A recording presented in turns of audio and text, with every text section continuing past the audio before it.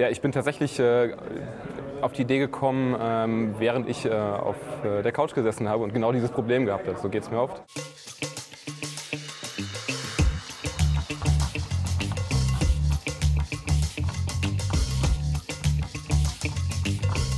Ja, wir, wir bauen einen Popcorn-Maker.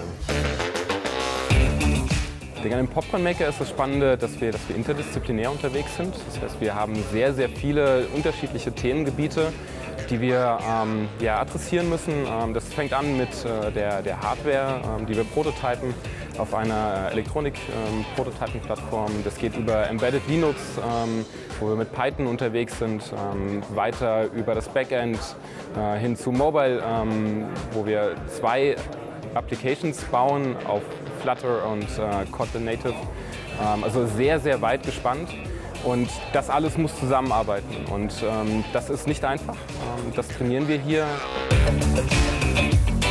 Interdisziplinäres Arbeiten kann man nicht oft genug üben, tatsächlich. In der Regel liegt das Problem nicht in einer Disziplin, sondern in der Kommunikation zwischen den Disziplinen, also die einzelnen Teams, die hier auftreten. Und genau das üben wir nebenbei und haben trotzdem noch Spaß.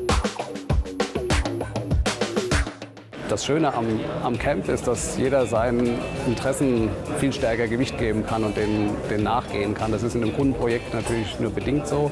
Das heißt, wir arbeiten hier vor allem an den Themen, die uns, die uns interessieren und äh, gucken, wie können wir die Lücken überbrücken oder ausblenden.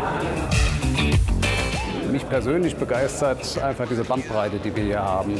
Jetzt haben wir hier fast 100 Leute in einem Raum an einem Thema und ich finde es total inspirierend, zu sehen, äh, in welche verschiedenen Richtungen die Kollegen da auch experimentieren, neue Technologien ausprobieren. Und das ist natürlich was, was wir auch in die Projekte reintragen wollen. Ne?